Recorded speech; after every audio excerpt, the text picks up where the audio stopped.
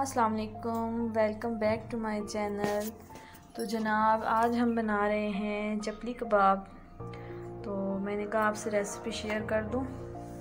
तो इसके लिए हमने इंग्रेडिएंट्स जो लिए हैं, ये कीमा है और ये अदद फेंटा हुआ अंडा, ये बेसन, ये प्याज बारीक चॉप हुई हुई, थोड़ा सा नमक, अदरक लहसुन का पेस्ट एंड मसाला ऑप्शनल है।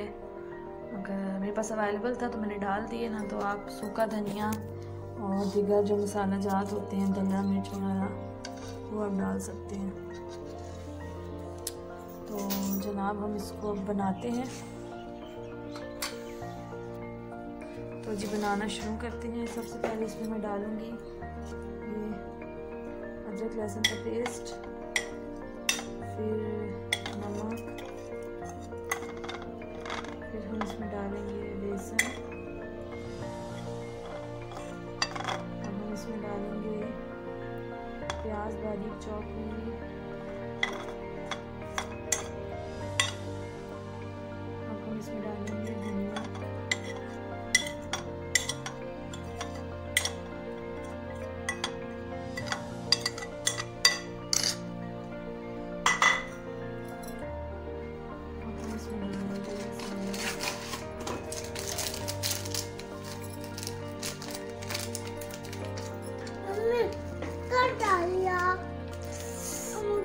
पिछड़ पिछड़।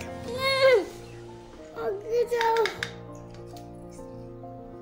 अम्मा इधर जाओ। ये मेरा बेटा आ गया अम्मा हाँ मुझे उठाओ। अम्मा मुझे उठाओ आपने कभी उठाया नहीं है तो अच्छा जब मैं उसको उठा लिया मैंने अब इसको मैं मिक्स कर रही हूँ। दरअसल हाथों से मिक्स करना था लेकिन अब मैंने इसको उठाया हुआ है तो फिर मिर्चें वगैरह इसको लग जाएँगी। अब हम इसमें ऐड करते हैं साथ साथ ये अंडा।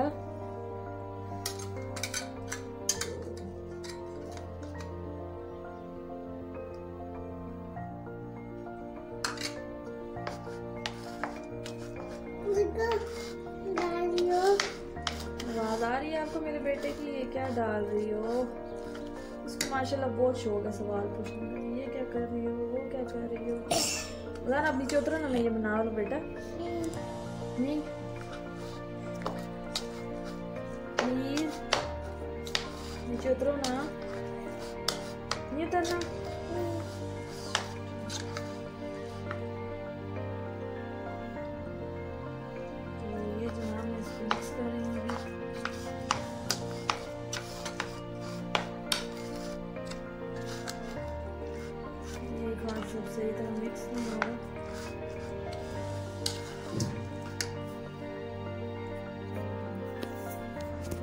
अंडा मैंने बचाया है थोड़ा, मैंने कहा एंड मिक्स करने को भी तो इसकी मैं आपको फाइनल लुक दिखाती हूँ, फिर मिक्स करके थोड़ा।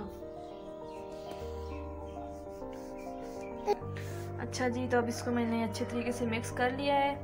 अब हम इसको लेफ़्ट ओवर रख देंगे, तकरीबन दो से तीन घंटे। तो अच्छे तरीके से ये मसाला वगैरह मिक्स हो जाएगा, अंडा, बेसन।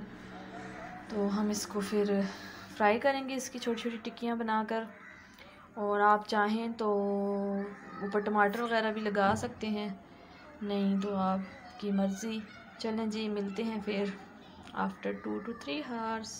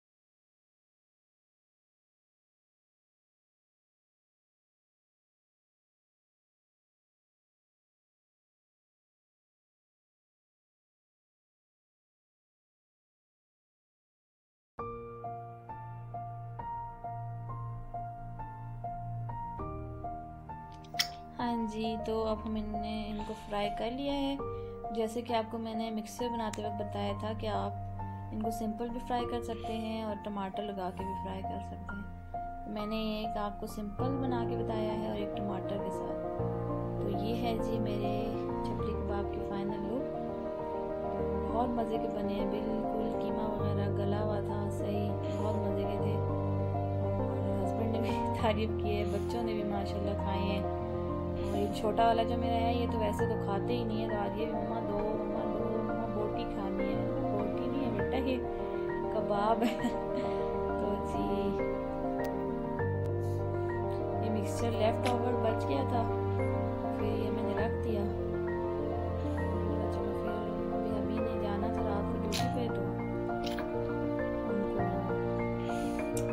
तो तो कैसी लगी आपको मेरी वीडियो लाइक ज़रूर कीजिएगा कमेंट कीजिएगा, मेरे चैनल को सब्सक्राइब कीजिएगा और वीडियो को शेयर भी कीजिएगा। अल्लाह हाफिज़ नेक्स्ट